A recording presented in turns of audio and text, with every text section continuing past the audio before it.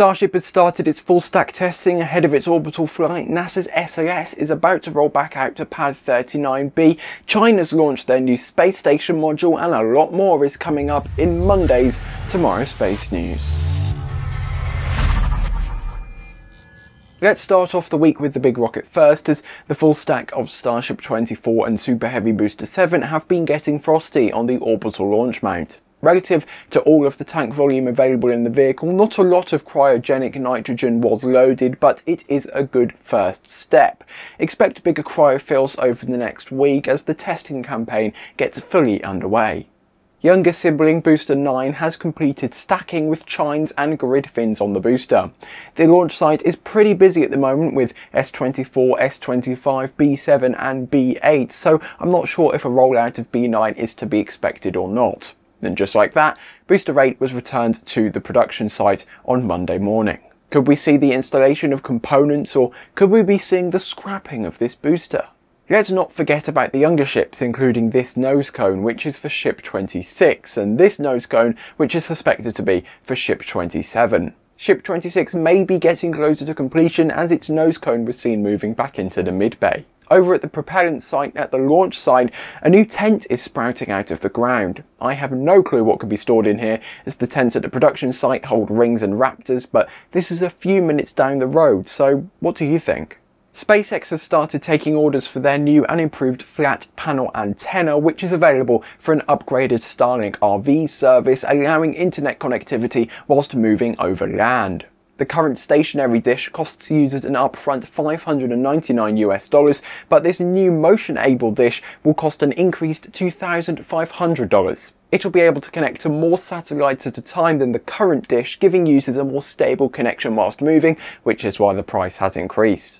To try and encourage customers to purchase this very much more expensive antenna, SpaceX has warned customers that are using any other stationary service, in motion will result in an instant void of their warranty.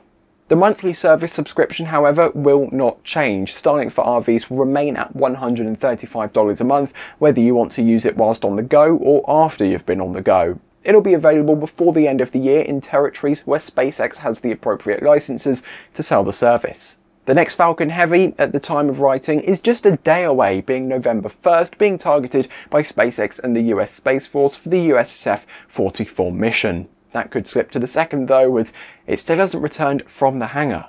On Tuesday, it was rolled out of the horizontal integration facility at 39A before being lifted vertical. We wouldn't get a static fire though until Thursday, as Falcon Heavy and the ground support equipment at 39A were having a hard time communicating with each other.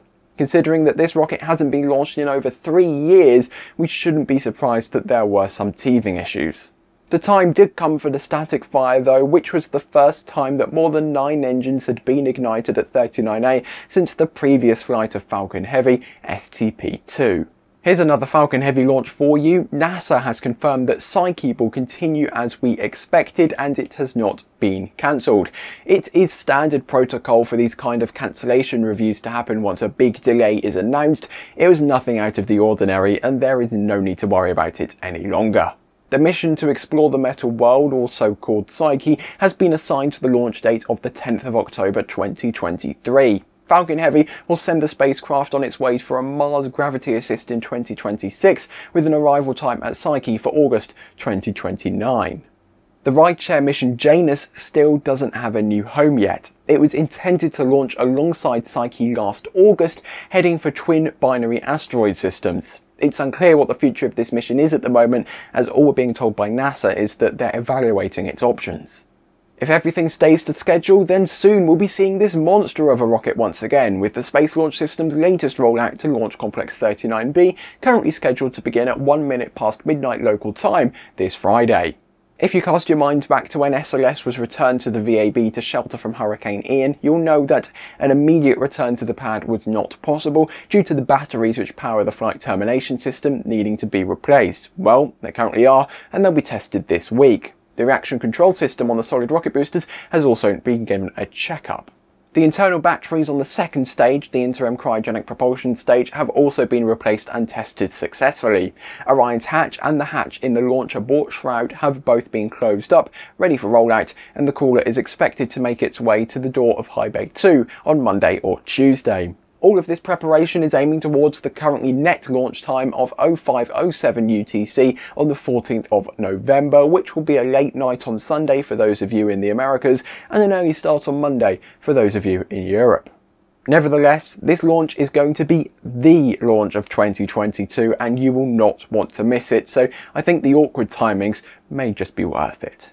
It's a relatively quiet week of launches, but we did get a big payload. We're starting off with Russia's Progress MS-21 ISS resupply mission, which launched from Site 316 at the Baikonur Cosmodrome in Kazakhstan at 0020 and 9 seconds on Wednesday, October the 26th. This Progress vehicle was launched by a Soyuz 2.1A rocket, which delivered the resupply vessel to a transfer orbit up to the ISS. Sneaking between the launch and docking of Progress MS-21, however, with SpaceX's Starlink Group 4 31 mission, which was launched on a Falcon 9 from Space Launch Complex 4 East at the Vandenberg Space Force Base in California at 0114 Universal Time on the 28th.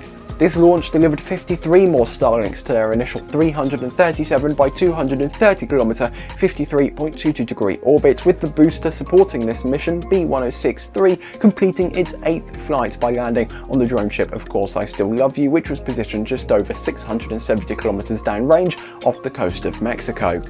It's time for the docking, with Progress MS-21 docking to the Zenith port on the Poisk module at 0249 UTC the same day. This vehicle is scheduled to be disposed of before the end of the year, however the cosmonauts on the station will need time to unpack everything on board and then fill it up with rubbish before undocking can take place. The final two launches of the week are coming out of China. First up, Shiyan 20C on a Long March 2D from Site 9401 at the Jiuquan Satellite Launch Center. This mission launched at 0101 UTC on the 29th of October, delivering the classified satellite to an unknown low Earth orbit. And last but not least, we have the Tiangong Space Station Science Module Mengtian, which launched at 0735 Universal today, October the 31st, from Launch Complex 101 at the Wenchang Satellite Launch Center on Hainan Island. Just like with the second module of the station, Wentian, Mengtian will first dock to the forward port on the Tianhe core module of the station before being undocked and moved to the side port by the included robotic arm at a later date. This module has an area where the crew can work as well as an unpressurized cargo compartment for zero atmosphere experiments. This is a hefty module, weighing in at 23 metric tons, which means that China needed to call upon their most powerful rocket, the Long March 5B. This rocket has a tendency to leave the core stage at an unknown orbital trajectory, leading it to deorbiting in an unknown location on Earth. Last time, it luckily ended up in the ocean near the Philippines, so let's hope that happens again this time. A rocket on display on your front lawn could be epic, but the delivery method has to ensure that nothing gets damaged in the process by falling debris. If you want your vote on where you think the Long March 5B will land, then why not compete in our bingo? Those who are closest will receive a shout out in the following Tomorrow live show.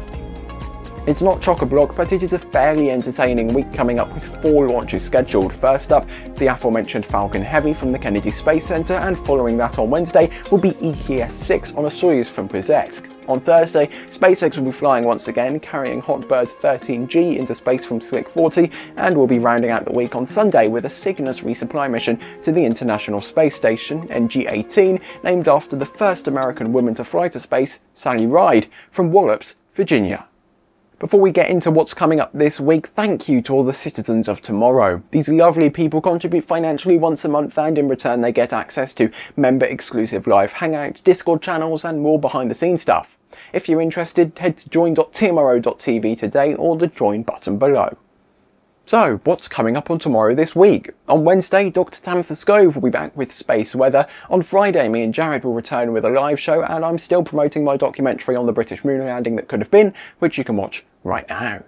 Thanks for watching, hopefully we'll see you next time, and goodbye.